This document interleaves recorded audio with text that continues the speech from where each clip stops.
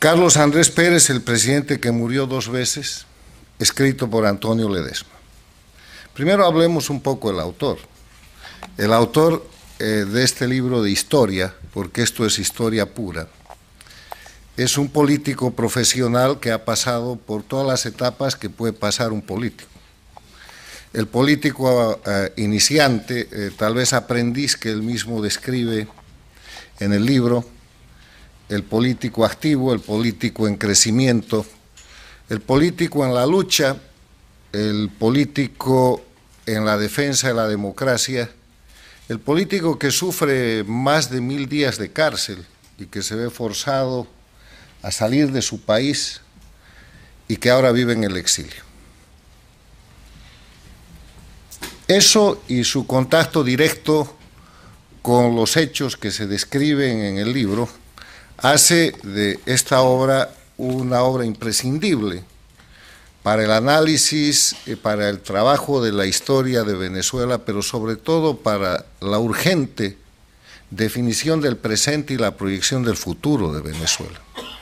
Porque la historia no sirve si no tiene aplicación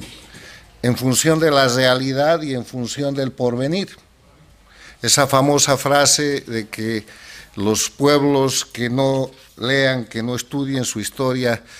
tienen el grave peligro de repetirla, es cierta. Pero los que se detienen en la historia y nada más, tienen el grave peligro de no formular el futuro. Y yo creo que lo que nos plantea aquí Antonio Ledesma es un desafío a esa formulación del futuro en un momento extremadamente crítico, no solo para Venezuela y los venezolanos, sino para la región no solo para los latinoamericanos, sino para los americanos en el hemisferio completo, en un momento en que parece que lo oprobio y la impostura crece y que eh, la defensa, la promoción de la libertad, los principios y valores de la cultura occidental están amenazados y parecen retroceder. Y ahí viene eh, la figura de Carlos Andrés Pérez,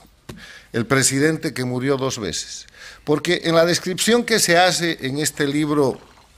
tan importante, que está básicamente referido a la política interna de Venezuela, que está básicamente referido a la acción política de uno de los más connotados políticos venezolanos de la segunda parte del siglo XX, y yo diría de uno de los más importantes líderes democráticos de la región, porque si alguna proyección ha tenido y tendrá en la historia el presidente Carlos Andrés Pérez es su proyección y su valía como hombre democrático, como defensor de los principios y valores de la democracia, como practicante de esos principios y valores, como se demuestra en este libro, y como además una persona que aplica hasta el momento en el que es prácticamente derrocado las reglas de la democracia pese a la debilidad política que eso le, pudo generar en su momento. Yo quiero hacer algunos apuntes sobre el contenido general del libro. Primero, se trata de un merecido homenaje en los 100 años del nacimiento del líder democrático Carlos Andrés Pérez. Segundo, es el relato detallado, eh, testimonial, de un contemporáneo del conjunto de sucesos y hechos que nos llevan a la demostración de que cuando se quiebran los principios de la institucionalidad democrática, el respeto a la libertad, el Estado de Derecho, la separación e independencia de poderes, cuando se abusa de la maniobra política y se cree que en política el fin justifica los medios, lo que se termina haciendo es destrozar el sistema y sembrando la semilla de lo que es la destrucción general. La gente que destruyó la imagen de Carlos Andrés Pérez no tardó mucho en seguir el mismo camino, porque 10 o 20 años en la vida del ser humano es una tercera parte, a veces media vida, pero en la historia es un paso. Y en ese párrafo de la historia vemos nosotros cómo las cosas han ido cambiando y cómo si se hubiera podido defender un poco más la institucionalidad democrática de Venezuela, más allá del juego interno que llevó al deterioro del sistema y al deterioro institucional y a todo lo que es hoy día historia, hubiéramos podido tal vez tener esa Venezuela que era el foco de la democracia en la región, que era el refugio de los exiliados cuando el resto de los países latinoamericanos sufrían dictaduras y que era además un punto de equilibrio y de garantía para evitar excesos, eh, tanto en el ámbito de las relaciones internacionales como en el ámbito de la política de cada uno de los países. Venezuela tenía un liderazgo efectivo que no solamente consistía en su riqueza, en su petróleo, que gravitó de manera importante en la eh, creación de los países, de la Organización de Países Productores de Petróleo, sino tenía importancia en la influencia de la construcción y la recuperación democrática de las Américas. Y así fue. ¿Y quién iría a pensar que uno de los líderes que eh, ayudó a reconstruir la democracia en América Latina, Carlos Andrés Pérez, terminaría eh, víctima de una dictadura en su país y además muerto en el exilio. Y que, gracias a Dios, no, no, vivió para, para ver lo que ha venido después, de, en estos últimos 12 años, después de la muerte del presidente Pérez. Casi 7 millones de exiliados, que yo no sé por qué los venezolanos le llaman diáspora, es gente forzada a dejar su país, es gente obligada a dejar su modo de vida para salvar la vida, para luchar por su libertad, y es gente lanzada en diferentes condiciones a la lucha por la vida en condiciones absolutamente desesperadas y absolutamente negativas. Eh, presos políticos que juegan el sistema de la puerta rotatoria, el régimen suelta 20 presos y toma 30, siempre hay presos políticos porque esa es su moneda de negociación, persecución política y la construcción de un sistema de oposición cada vez más complaciente, que se acerca a la definición que yo he acuñado de oposición funcional.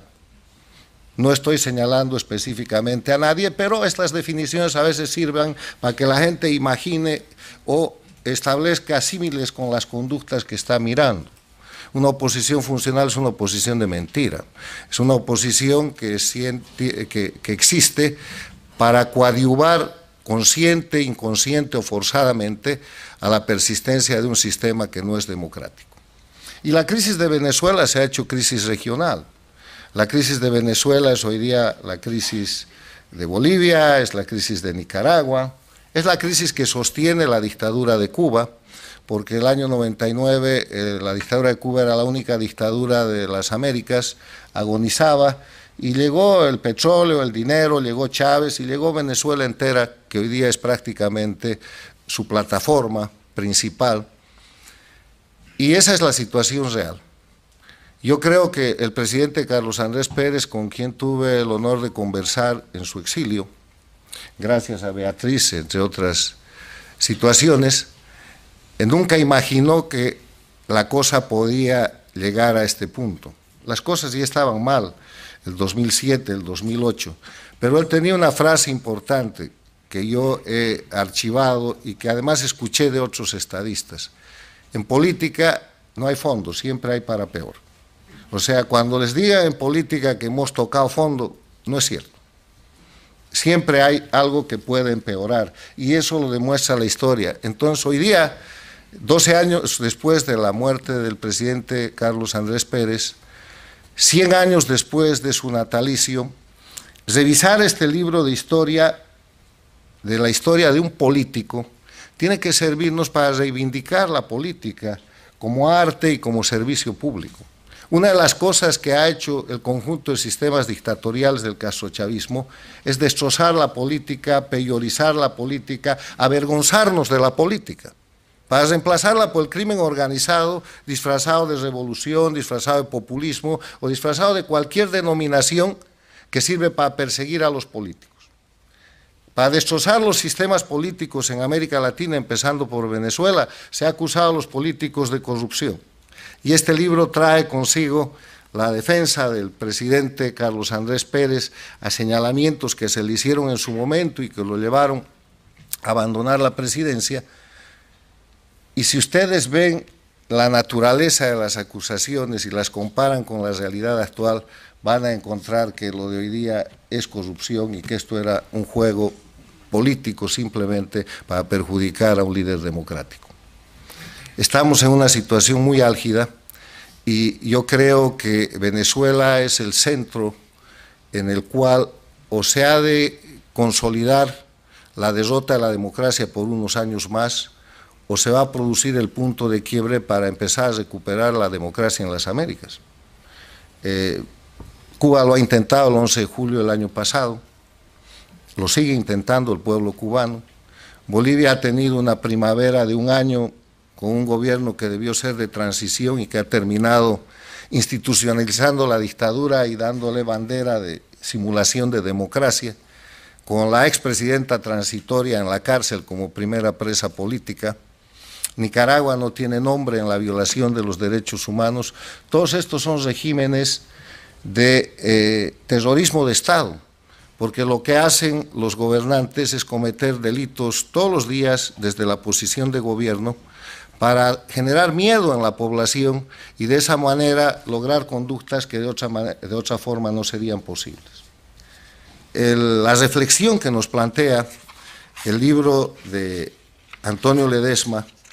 con ese contenido tan importante que termina con la muerte física del presidente Carlos Andrés Pérez con mucha tos y sin dinero,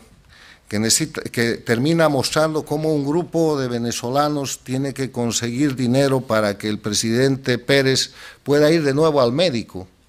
porque cuando eh, Ledesma eh, ve que eh, hay un deterioro grave en la salud del presidente, habla con la compañera del presidente y ella le dice que ya no podían ir al hospital simplemente porque no había dinero y porque había muchas facturas por pagar. Y ese es el hombre acusado de corrupción. Ese es el hombre que se robó Venezuela. Ese es el hombre que eh, vivía prácticamente eh, indocumentado en los Estados Unidos, porque una de las cosas realmente eh, terribles que a mí me dijo el presidente Carlos Andrés Pérez en nuestra última entrevista fue, yo voy a morir en el exilio, voy a morir indocumentado y voy a morir traicionado por la gente a la que ayudé tanto. Y estaba mirando a Cuba, estaba mirando a Castro y estaba mirando a una serie de gente de la política venezolana. Que no nos pase esto, eh, que este sea el libro histórico que nos ayude a recuperar la importancia de la política, que nos ayude a entender que eh, Venezuela es el punto de inflexión para recuperar la democracia en las Américas, porque ha sido el punto de inflexión para perderla. O sea, donde hemos empezado a perder la democracia, tenemos que empezar a recuperarla. Y que esta inspiración histórica que nos trae hoy día Antonio Ledesma, a quien quiero felicitar por su importantísimo trabajo,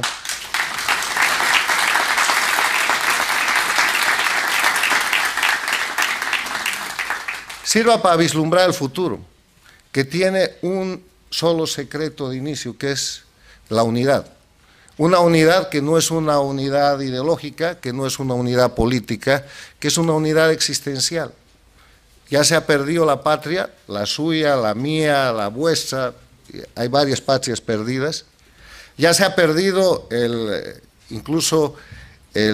la propiedad privada de cada una de la gente que ha tenido que salir de su país. Ya hemos perdido nuestros grados y distinciones, está prácticamente todo perdido porque el exilio lo único que preserva es la libertad. Y a partir de esa posición de libertad en el exilio hay que formular un proceso de unidad para recuperar la democracia y después de que haya democracia volver a las ideologías, a las posiciones políticas, a los, programas y ojalá no, nunca más, a las maniobras como las que terminaron la presidencia del presidente Pérez. Miremos el futuro aprendiendo el pasado. Felicidades Antonio, felicidades a su señora y gracias por este aporte histórico tan importante que nos recuerda la vigencia, la validez y la importancia de Venezuela donde quiero insistir, empezamos a perder la democracia y tenemos que empezar a recuperarla.